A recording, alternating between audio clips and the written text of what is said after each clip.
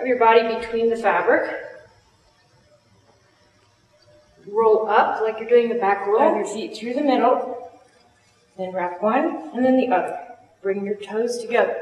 You wrap around the fabric that's free with your other arm, wrap up above as high as you can. Lower yourself down. The tail of the fabric is going to come over my bottom leg. Leaning forward a little bit. You're going to reach behind and in front of, pulling the fabric in an X. The X is at my waist.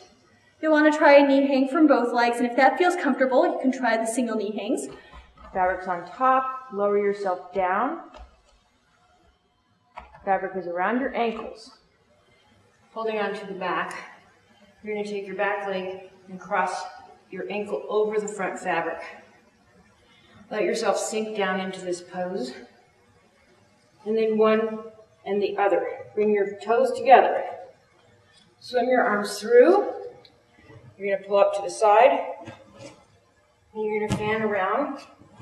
And you're going to fan the other way.